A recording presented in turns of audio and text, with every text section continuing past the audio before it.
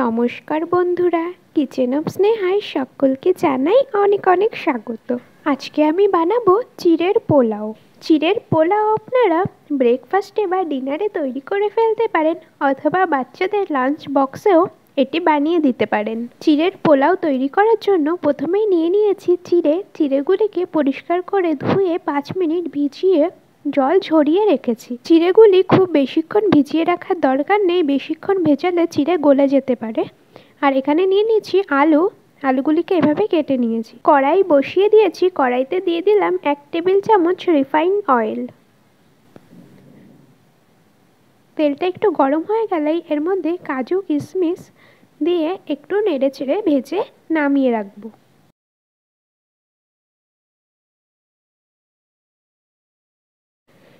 কাজু কিশমিশগুলো আমি এক মিনিট নেড়ে চেড়ে ভেজে নিয়েছি, এবার নামিয়ে নেব। এবার এই তেলের মধ্যেই আমি এক চামচ দিয়ে দেব ঘি।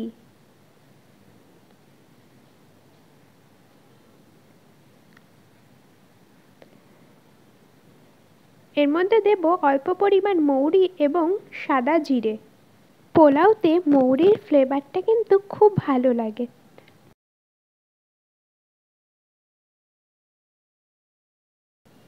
মৌরি আর জিরের থেকে একটু ভাজা গন্ধ বেরোলেই এর মধ্যে দিয়ে দিচ্ছি দুটো তেজপাতা।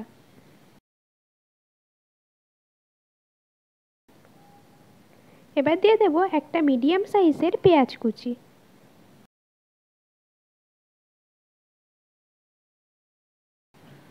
পেঁয়াজটা হালকা করে ভেজে নেব। দেখুন পেঁয়াজটা ভাজা হয়ে গেছে। এর মধ্যে এবার দিয়ে দিচ্ছি কেটে রাখা আলুগুলো।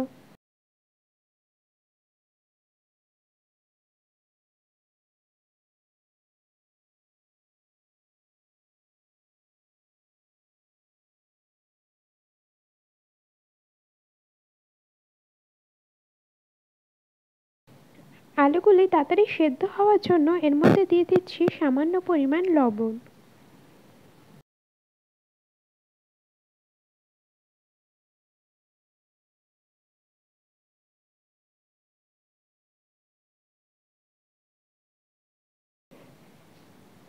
এবার দুই থেকে তিন মিনিটের জন্য একটি ঢাকনা দিয়ে আলুটি ঢেকে দেব যাতে তাড়াতাড়ি সেদ্ধ হয়ে যায়।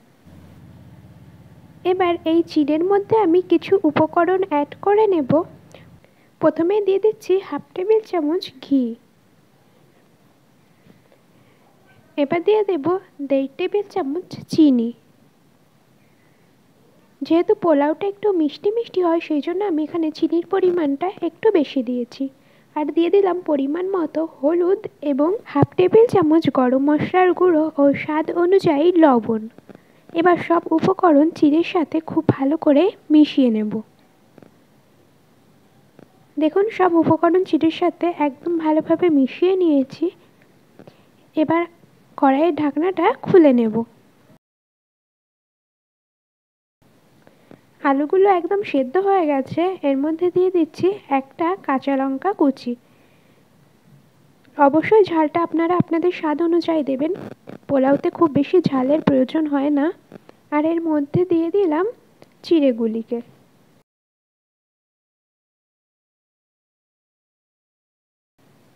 চিড়েগুলি নেড়ে চেড়ে খুব ভালো করে সব কিছুর সাথে মিশিয়ে নেব।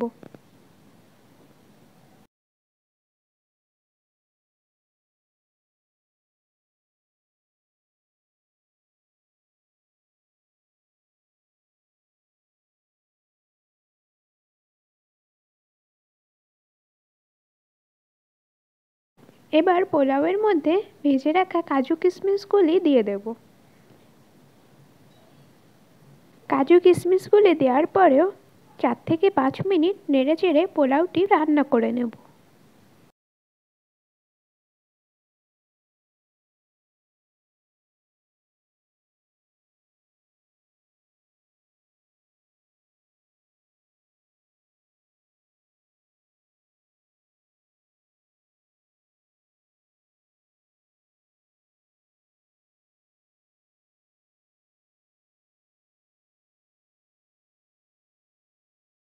দেখুন, আমাদের চিড়ের পোলাও রান্না একদম কমপ্লিট হয়ে গেছে। এইভাবে আপনারা অবশ্যই বাড়িতে ট্রাই করে দেখবেন আর খেতে কেমন হয়েছে আমাকে কিন্তু অবশ্যই কমেন্ট করে জানাবেন। এই ভিডিওটি আপনাদের ভালো লেগে থাকলে একটি লাইক এবং শেয়ার করে দেবেন। আর এইরকম আরও দারুণ দারুণ ভিডিও পেতে আমার চ্যানেলটি অবশ্যই সাবস্ক্রাইব করে পাশের বেল আইকনটি প্রেস করে দেবেন।